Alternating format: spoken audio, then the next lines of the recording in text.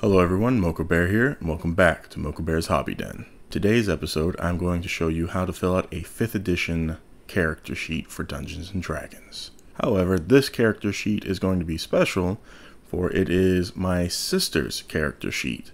She has already instructed me on what kind of character she wants, and has given me free rein to choose the spells for her, as well as to roll her stats. So, let's get into it.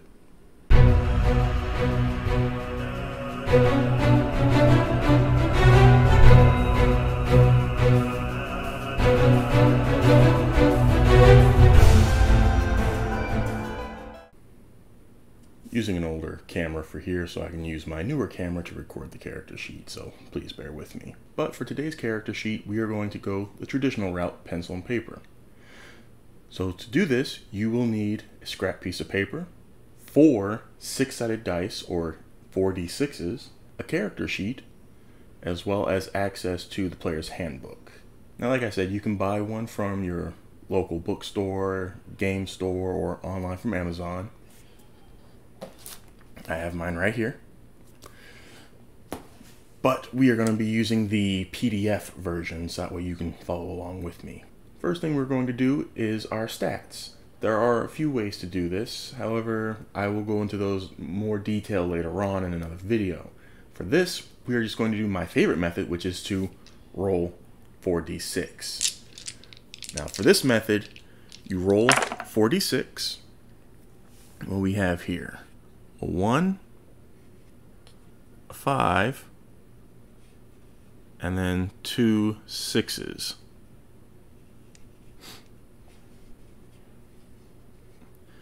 Now the method is you roll 4d6 and you drop the lowest number. And you take the three remaining numbers and that is one of your stats. So 6 plus 6 is 12, plus 5 is 17. And on your scrap paper, you write down the number. You are going to do this another five times, so there will be a total of six times. Now I'm just going to go ahead and roll off camera and be back once we have acquired our numbers. Okay, so I have rolled an 11, three 12s, a 16, and a 17. Now, the way that I have my players roll for my games that I run, we do the same method. However, I add a little bonus where if their total, after they've dropped the lowest number, is lower than 10, then they re-roll. Because these numbers give us pluses and minuses. They give us bonuses. So we have an 11, which equals plus 0, because 10 and 11 is plus 0. We have three 12s, which are going to be plus 1. So 10 and 11 are plus 0, 12 and 13 are plus 1. 14 and 15 are plus 2s. We do not have any of those. However, we have 16 and a 17, which both equal plus 3. We're going to keep that aside for now, because that is going to come in later. Let's move my dice out of the way and my scrap sheet. Now this is a 5th edition character sheet that I have printed out from online. It is a free PDF and I will post a link to these down below in the description box. I understand it is quite a bit at first, it could be overwhelming. I taught myself how to do this, and I've done it so many times, I make characters for fun now. So first, let's go ahead and do the race, which is here. Now, my sister said she wants to use a water genasi. Lucky for her, the new Mordenkainen Presents Monsters of the Multiverse book came out, which provided updates for the Water Genasi, so we will be giving her an updated Water Genasi. So for race, we will be doing Water Genasi. Sorry for the background noise. I am recording this late at night. Uh, Water Genasi. They are a humanoid creature type, which doesn't come into effect when making your character. However, it comes to effect when playing later on. Uh, your size is medium or small. You can choose the size when you select this race.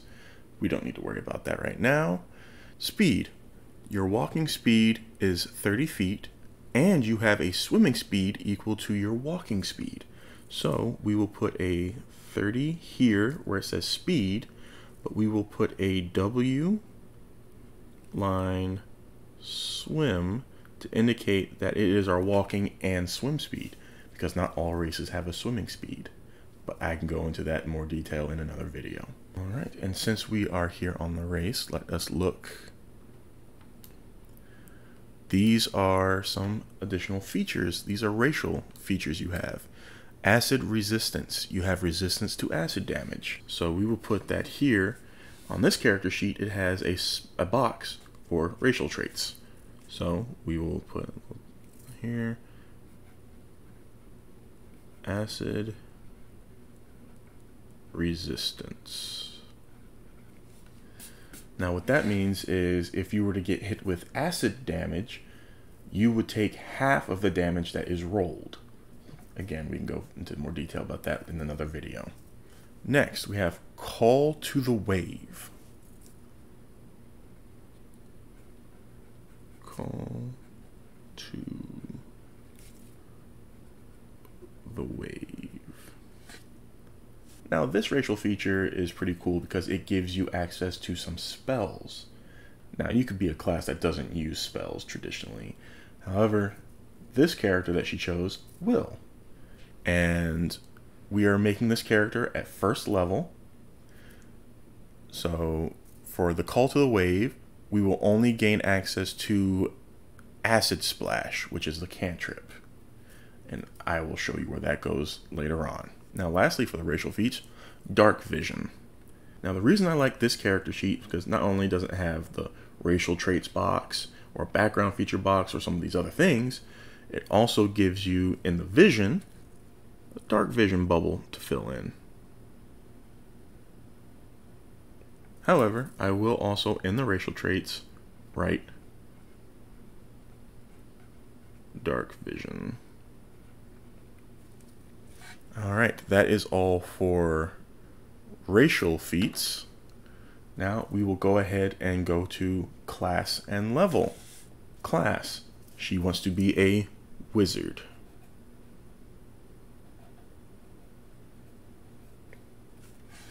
Next to that, you would write a 1. So, as a first level character, you would write 1.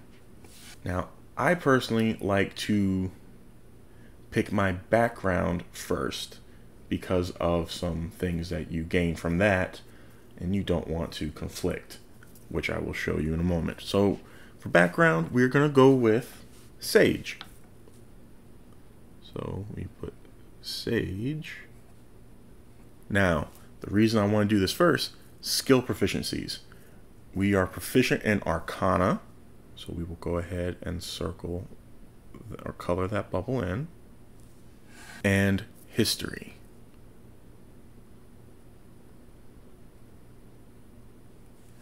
Now in a future video I will go into more detail on what these particular skills are used for. Before I forget, because I was, we want to break out that scrap paper that we had with our numbers. Now in the player's handbook, the races there give you some bonuses to your stats. For example, Dragonborn your strength score increases by 2 and your charisma score increases by 1. However, if you noticed in the Water Genasi page in Mordenkainen's Monsters of the Multiverse, it did not have that because there is a new method for increasing stats. For that, it gives you the option of increasing three of your stats by one each, or one stat by two and another stat by one. So we are going to most likely do one stat by two and another stat by one. Now, that is important because of your class. So, the wizard. Check out first level. We're going to have, go ahead and do this, proficiency bonus of plus two on the character sheet. Proficiency bonus plus two. Don't worry about this right now. Let's go ahead and just scroll down. quick build. I always recommend beginners check out the quick build. It is always the paragraph above your class features because it gives you recommendations on what stats to focus on. So for wizards, first intelligence should be your highest ability score, followed by constitution or dexterity. Dexterity is for your armor and defense, while constitution is for your health. And the main reason intelligence is recommended to be first because that is what is used for your spells. The higher your intelligence, the more effective your spells will be. With that in mind, we are going to make intelligence our highest stat. Now remember, our highest stat we rolled was a 17, but we are going to add a 2 to that for the stat increase from our race. So that 17 is now going to become a 19, which we'll put down here. Now remember, I said 16 and 17 is a plus 3. 18 and a 19 is a plus 4. The highest you can go is 20, which is a plus 5. Next, our second highest number was a 16. Now I've already looked ahead and figured out the spells to take, so for that reason, I'm going to put the 16 into Constitution, and I am going to do that plus 1 to the Constitution, turning it to a 17, which will still make it a plus 3. Now we have three 12s and an 11 left. The 11 is going to be a plus 0. Most wizards do not focus on physical melee combat, which most of the time uses strength. So, because of that, we're going to make strength our dump stat, which will be 11 which will be plus 0. If we were to have had a 9 or 8, it would be minus 1, and so on and so forth. No one really wants to have minuses for their first time playing. It's no fun. So that leaves us with the three 12s. 12 dexterity, 12 wisdom, 12 charisma, which is plus 1, plus 1, plus 1. Now, class features hit points, hit dice, 1d6 per wizard level. Now, since we are making this at level 1, hit dice is going to be d6 total 1. And then this little box here says left, so we will just go ahead and put 1 hit dice, I will go into the, the use of those in a future video as well. Hit points at first level, 6 plus your constitution modifier. Constitution modifier is plus 3, so 6 plus 3 is going to be 9 is our max hit points. Max HP is max hit points. And then here's current hit points. We will put 9 as we have not been damaged, that we are not in combat. Now, Proficiencies. Armor. Wizards are not proficient in armor. There is a subclass of wizard that does use armor, but that's for a whole another video. It's one of my favorite wizards, though. Alright, weapons. We have weapons here. Simple, martial, other. So we will go ahead and start bubble in the other. I'm going to fill these out and we'll be right back. Alright, daggers, darts, slings, quarterstaffs, and light crossbows. Uh, tools, none, so we leave that blank. Saving throws, intelligence, and wisdom. So, intelligence and wisdom. Again, I will go into more detail on these things in another video. Skills. Choose two from Arcana, History, Insight, Investigation, Medicine, and Religion. Now, this is why I went ahead and chose my background and looked at the skill proficiencies I gained from there. Because Arcana and History I already gained from my background, Sage. Here, those are two options. If I were to have chosen those here and then go there, I'd be like, oh, well, now I need to go back and pick another two. Doing it this way, you already have that done. So, let's see here. We definitely want good insight as a wizard. We're not strong physically. We want to be strong mentally, at least. And then we have investigation, medicine, or religion to pick from. Investigation. Investigation would be really good. All right. Now that we have done that, on to the next page. Equipment. You start with the following equipment in addition to the equipment granted to you by your background, which we will fill out later. So, we have the option of quarterstaff or dagger. We will go ahead with dagger. We will go to the inventory page. So, we are on the inventory page. We are going to go with dagger because of the style that she wants to use we want a quarterstaff would be too bulky and requires strength, while a dagger, you can use your dexterity. Now, a component pouch or an arcane focus. Now, a component pouch is literally a pouch that holds all the material components required for spells. Some spells require material items, which I get another video. Uh, but for this, she told me she wants a wand or a rod of some kind, a little staff. So we will go with an arcane focus.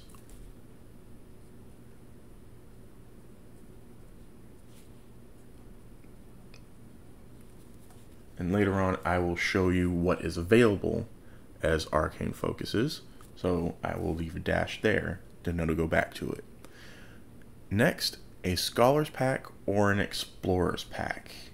Now, depending on what style of game you go with, will help determine what pack you go with.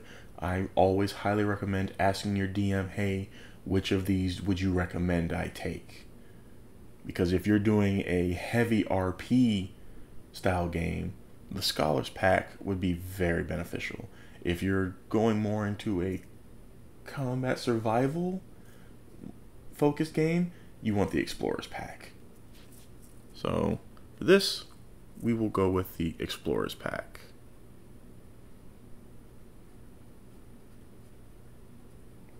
Because it also depends on what you plan on doing. If you plan on traveling around, Explorer's Pack is very beneficial.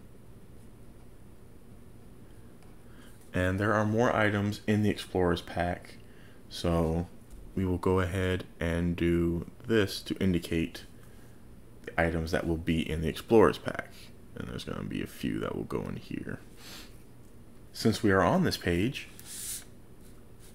age, height, weight, eyes, skin, and hair. For age, she said 19, which fits the setting. Her character is to be exploring for the first time, leaving her, her city. Height, five three. Weight, 128 pounds. Eyes, pearl white.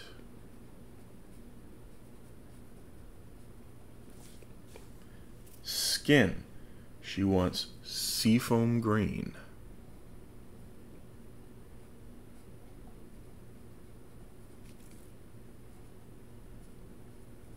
I know my handwriting's not pretty. And hair. She wants teal. And for character name, she said she wants Midori because it means green in Japanese. So, Midori. Now, your character's name can come from any form of inspiration. In most books, they give you examples of names for those races. Um, there are even websites you can Google or whatever search engine you use to find names for different races. All right, and now the last item, before I forget, is spellbook.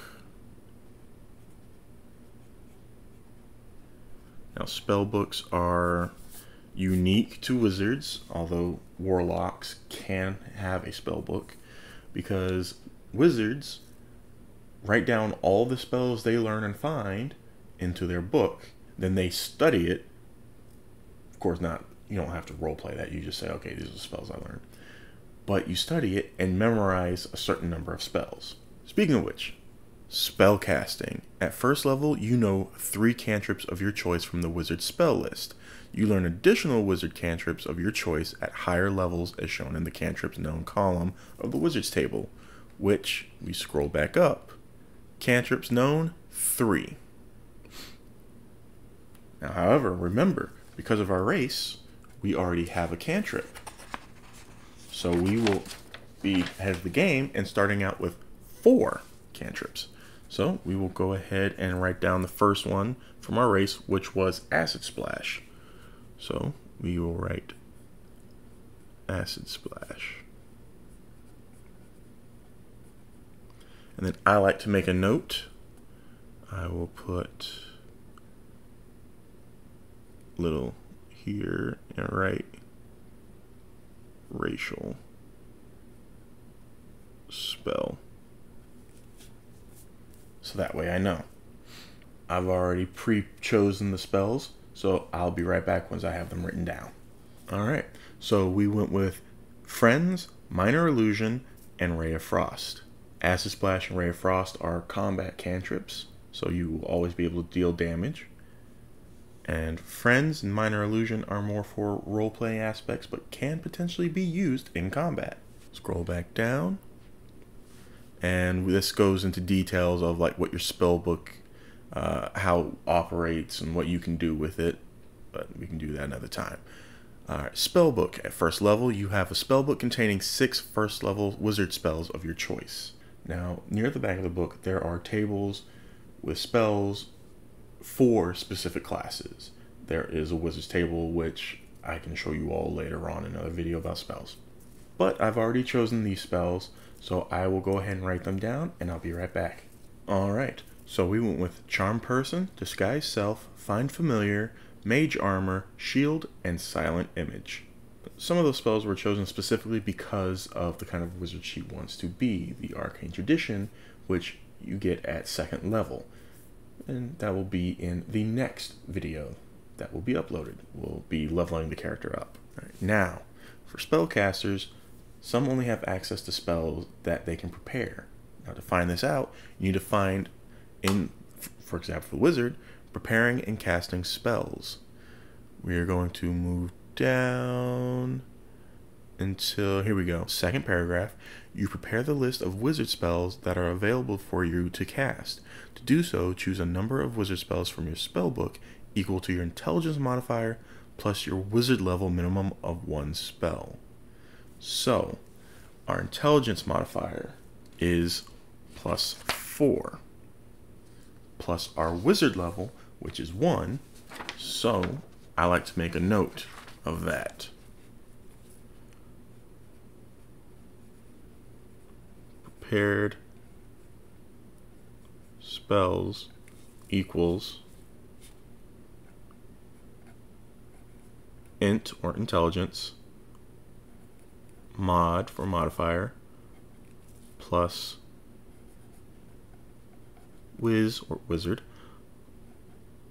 level.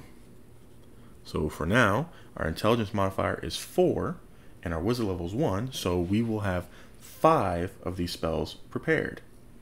Off the top of my head, I know that this spell here is a ritual spell, so I will go ahead and make a little note here with the R. R means ritual. Ritual spells can be casted even if you don't have it prepared, it just takes longer to do so. So for that reason, we will have Charm Person, Disguise Self, Mage Armor, Shield, and Silent Image prepared.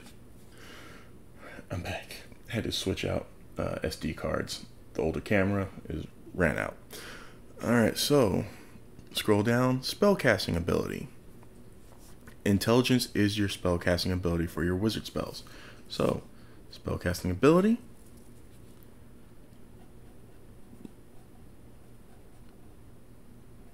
You can either write out the word intelligence or you can just write int for int for intelligence. Spell save DC equals 8 plus proficiency bonus plus your intelligence modifier. Our proficiency bonus, remember, is plus 2. And our intelligence modifier is plus 4. So it's already there at 6. So we have 6 plus 8, which is going to make our spell save DC 14, which is a good number. For spell attack bonus, or spell attack modifier, as it says in the player's handbook, spell attack bonus on the character sheet. It is your proficiency bonus plus your intelligence modifier, which we already know from doing the spell save is 6. So we write plus 6.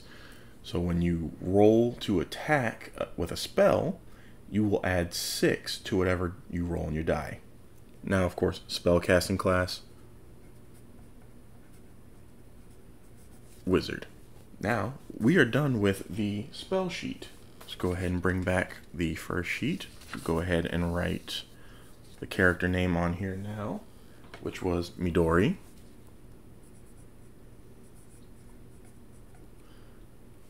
And before we forget, alignment, since we're already here.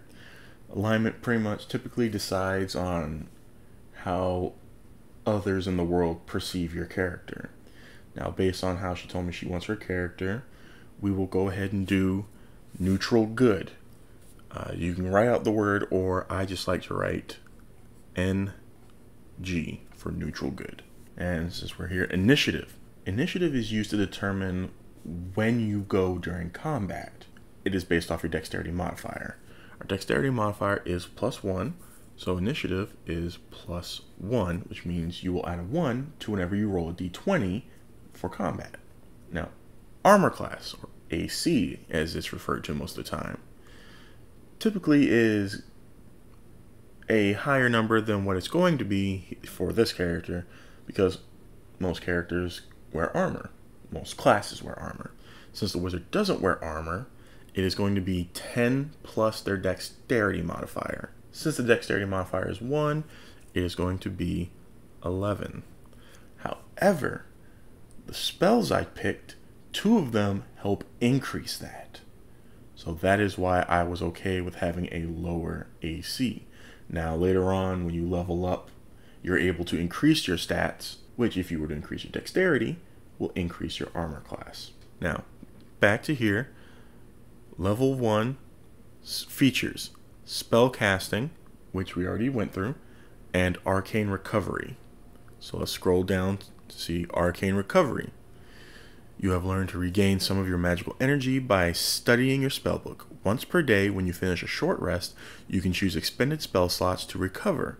Spell slots can have a combined level that is equal to or less than half your wizard level, rounded up, and none of the slots can be 6th level or higher. So, we are going to write that down in the class features. Arcane Recovery.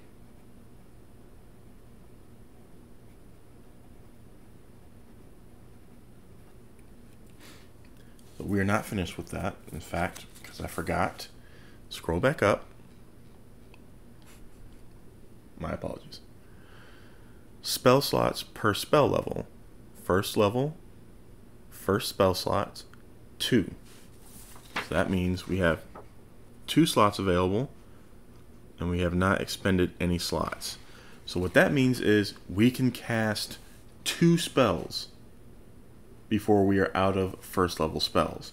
However, we are still able to cast these each turn because cantrips are free spells.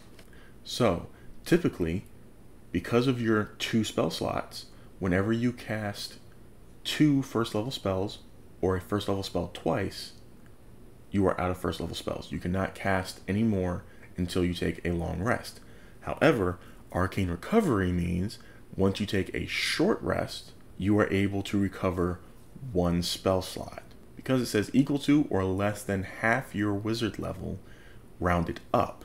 Since your first level, half of that's 0.5, rounded up, is 1. We're almost done. Bear with me. Now, back to the background page. Sage. We already did skill proficiencies. Languages. You get two of your choice, which does remind me, I forgot.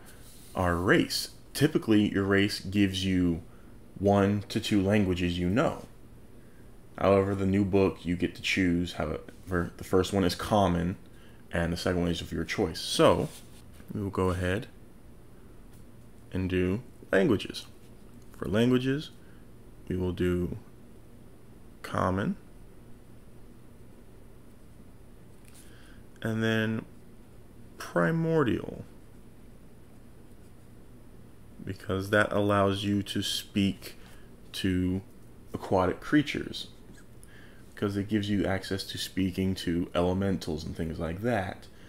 Um, and because her race is an aquatic creature, they have the dialect of Aquan, which Primordial will give you access to. Now, for Sage, languages two of your choice. Let's go with Elven. And then let's go with a fun one, Draconic. And the reason I'm going with Draconic is because there's something that she asked to have in her story, and it would make no sense to not give her Draconic. Now, equipment. I will go ahead and read it to you, and then I'll write it down off camera. A bottle of black ink, a quill, a small knife, a letter from a dead colleague posing a question you have not yet been able to answer, a set of common clothes, and a belt pouch containing 10 gold pieces. All right, so I've written it all down except for the gold. Because that goes on this character on the front portion of the character sheet. So we have CP for copper pieces, we have SP for silver pieces, EP for electrum pieces, GP for gold pieces, and PP for platinum pieces. So the background said we get a pouch of 10 gold pieces. So we will go ahead and write 10. Now, another fun thing. Background gives us roleplay things. Uh, speciality.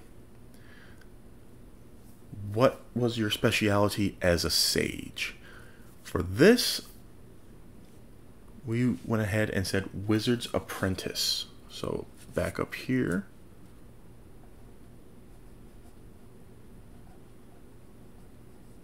Wizards Apprentice. scroll down and we have a feature called Researcher. All backgrounds have a feature which give you benefits mostly for roleplay, but some of them can be used for combat. But for this, background feature is Researcher. So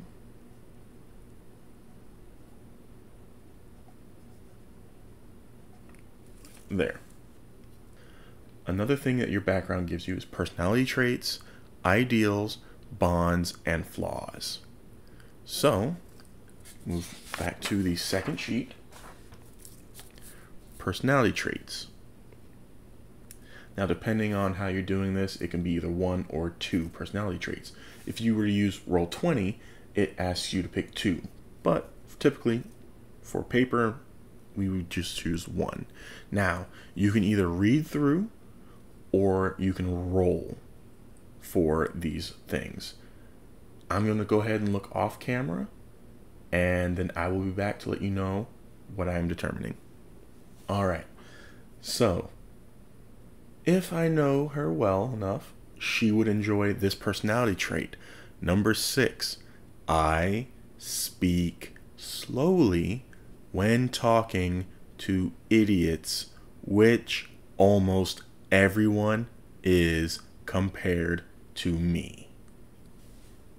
Next, ideal.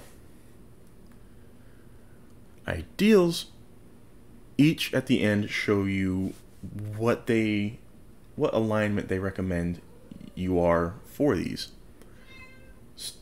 Now we went with neutral good. Neutral is knowledge. The path to power and self improvement is through knowledge. Good. Beauty. What is beautiful points us beyond itself towards what is true. I think she would like that. Beauty. Number two. There. Sorry, my face is behind this light most of this video. Next, bond. Now for bond, this is a difficult one. So what you can do is roll a d6. So, we're going to move these aside, and we're going to roll a d6. Number two. I have an ancient text that holds terrible secrets that must not fall into the wrong hands. Okay.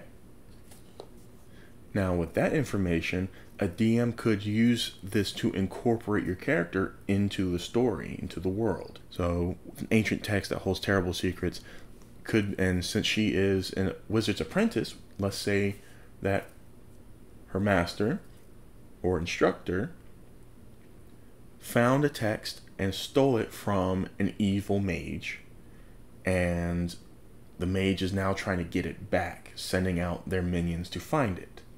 She could be on a quest to find her master or instructor, mentor, trying to find out why this text was sent to her. Lastly, flaw. Here's a fun one. Number two, most people scream and run when they see a demon. I stop and take notes on its anatomy. That sounds like a fun one. Alright, we are almost done. Almost done, everyone. First, let me go ahead and show you a few things. First, let's go to the Arcane Focus, which is here on this page. Arcane Focus, crystal, orb, rod, staff, or wand. She wanted a wand or a small staff rod. So, because her inspiration is magical girl, anime style magic girls. So, we will go ahead and give her the rod as her focus. And it will be up to her to determine what it looks like. Does she want it to be designed like coral with a conch shell on top? Up to her. And then for the Explorers pack, go to this page, Equipment Packs. The Explorers pack. Now I'm not going to read everything in it but if you want, you can pause it and take a look. Now what's left is attacks and spell casting, which is this section right here. For that, we only have a few things. We have the dagger, acid splash, and ray of frost. So, name, dagger, and of course, if you want to make it more personal, you can actually even name your weapon and put the name there. Attack bonus. Let's look at the page. Let's see here. Near the top, dagger. Damage is 1d4 piercing. Its properties are finesse, light, and thrown. So because it is finesse, you can use strength or dexterity. We want to use dexterity because it's plus one versus the zero for strength. So for the attack bonus, we take the dexterity modifier of plus one. And because we are proficient with daggers, we will add plus 2. So that is a total of plus 3. Which means you will roll d20 when you attack. And you add 3 to whatever you roll. For damage and type, daggers deal 1d4 piercing. So for damage, we write 1d4.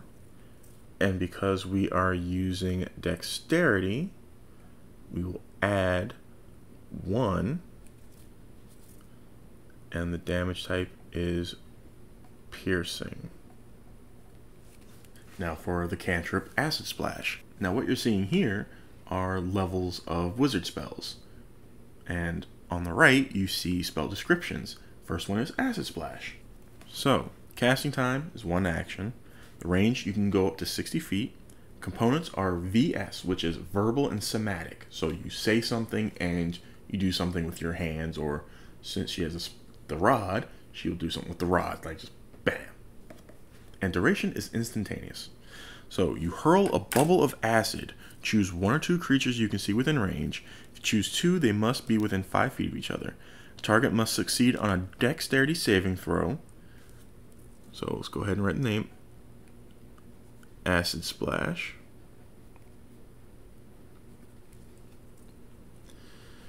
And it's a dex saving throw.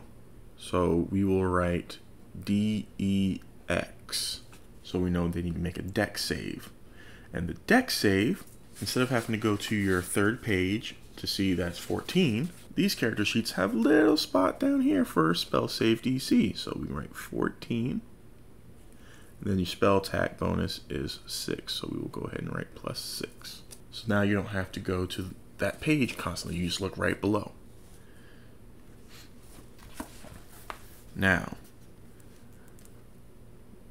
make a dexterity saving throw or take 1d6 acid damage. So we write 1d6 acid. And when you reach fifth level, it will increase to 2d6 and it will increase at higher levels. Next, we will do Ray of Frost. All right. So, Ray of Thought, Frost. Ray of Frost, one action, 60 feet. Again, verbal, somatic. Duration is instantaneous. A frigid beam of blue white light streaks towards a creature within range. Make a ranged spell attack against the target. So that means we will be using the spell attack bonus. So we will go ahead and here in the attack bonus write plus 6. So you will roll d20 and whatever you roll, add 6 to it.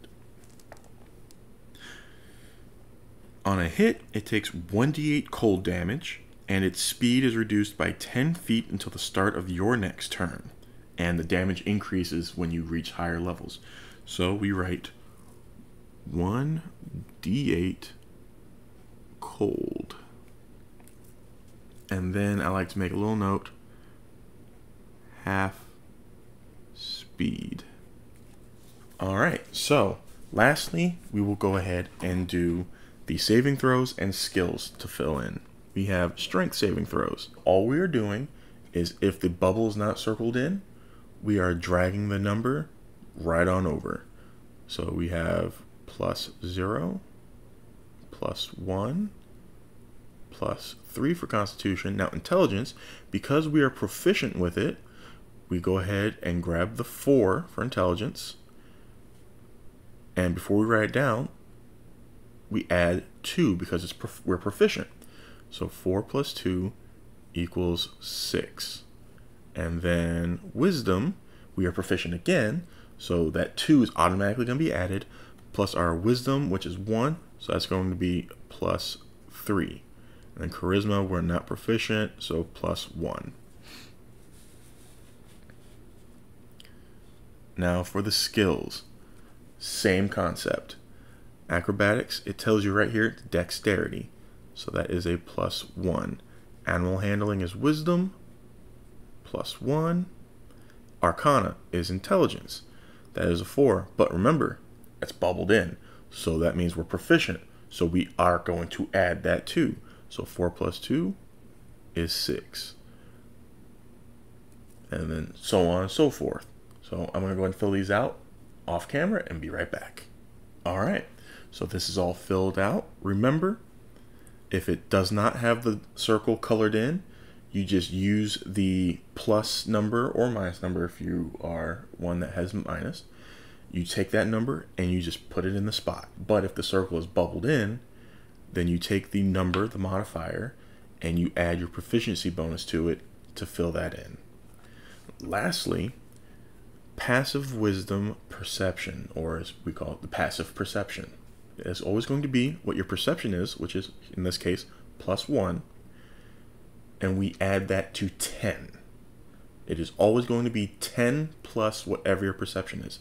So in this case, our passive perception is 11. We're not very perceptive right now, but that can change when we level up later on. All right, so now that that is all done, just you want to take a look at your character sheet, make sure you have everything filled out that you need filled out at the level you're starting at. So I'm going to check everything and I'll be right back.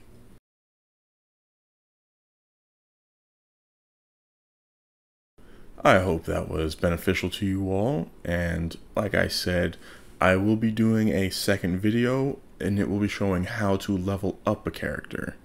Now, I will be doing another character sheet um, I'll do uh, one from the player's handbook so you can all follow along more smoothly and see more of what you'll be dealing with as a first time player. However, like I said, this one was more dedicated to my sister as she is interested in the game and the hobby now. So she gave me what she wanted and I just filled it out for her. If you have any questions, need anything clarified, please comment down below or reach out to any of my social media here and I will answer them. I do apologize for the length of this video. It is kind of time consuming making a character, but once you get started playing with it and building your character's story, breathing life into them, it'll all be worth it, trust me. Please, if you haven't already, check out my last video, which was an introduction to D&D and what's needed to get started. Again, I hope this video has been helpful to you, and I look forward to continuing on with this series. Until next time, please, hobby on.